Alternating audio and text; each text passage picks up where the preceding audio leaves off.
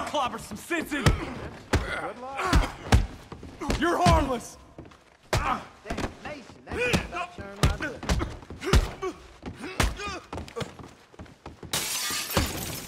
Guess you're mine.